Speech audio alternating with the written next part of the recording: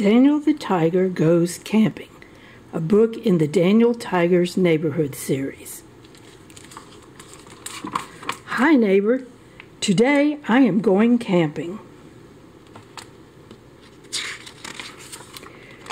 I pack my sleeping bag. Dad packs the tent and the food. We ride trolley to the campsite. Katerina, Prince Wednesday, and Miss Elaina are camping too. I help my dad put up the tent.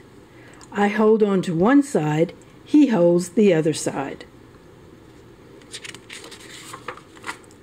Oh no, the tent fell down.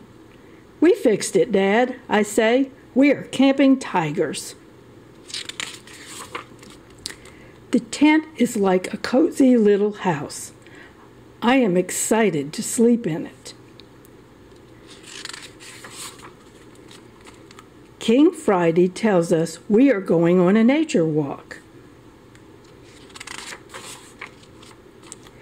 We look for treasures. I find a pine cone.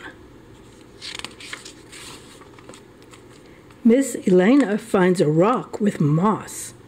Katerina finds an acorn. Prince Wednesday does not find a treasure.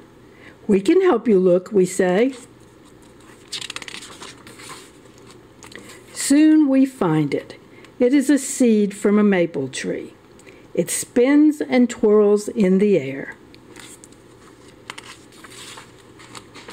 We spin and twirl too. Now it is time for dinner. My dad cooks a campfire stew. The stew is so yummy.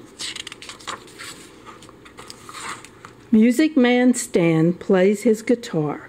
We sing songs. I love camping.